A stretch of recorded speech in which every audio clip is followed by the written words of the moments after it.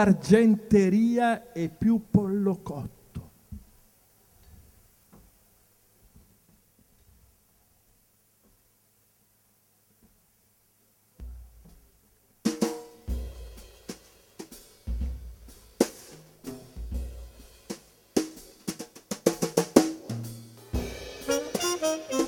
Thank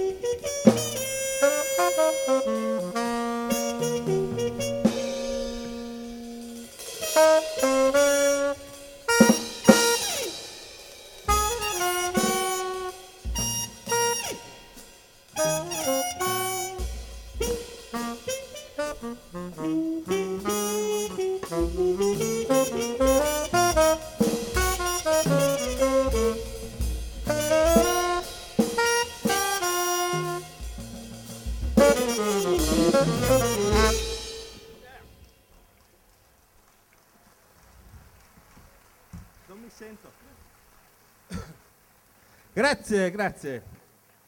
Ora entriamo nello spettacolo vero e proprio e chiamerei quindi una delle personalità più significative del panorama letterario italiano. Lo ricordo ancora dai tempi di Occhi sulla graticola. Poi vi consiglio a tutti, per chi volesse venire a Venezia, prima di venire, comprare Venezia è un pesce che è una guida straordinaria di Tiziano Scarpa su Venezia. Fino all'ultimo vincitore del premio Strega, Stabat Mater. Ora Tiziano Scarpa farà con noi uno spettacolo per cui ha scritto buona parte dei pezzi inediti, non tutti ma buona parte. Lo spettacolo si chiama Le forme del fiato. Tiziano Scarpa!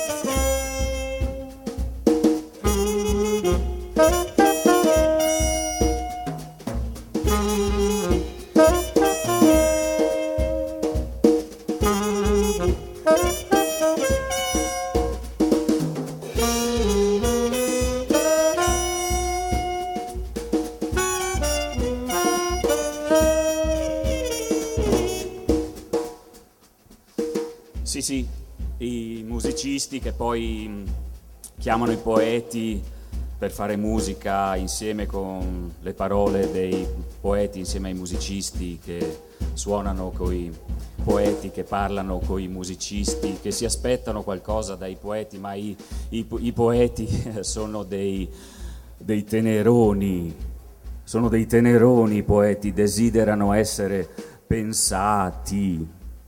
Gli basta questo, farsi un po' pensare, farsi leggere. Leggere è pensare sotto dettatura.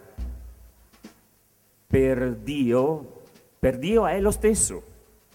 Vuole farsi pensare. Si accontenta di una preghiera una o due volte al giorno, cinque volte al giorno nel caso di Dio musulmano. A Dio piace molto farsi pensare nei momenti più belli, non soltanto quando stiamo male o abbiamo bisogno di un favore o di una raccomandazione. Dio è un poeta che ha scritto una poesia molto breve, fatta soltanto di una sillaba. Facile da ricordare. Io la so.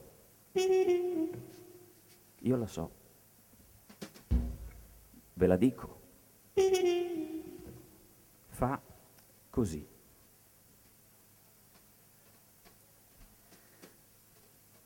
Dio. Ma anche così.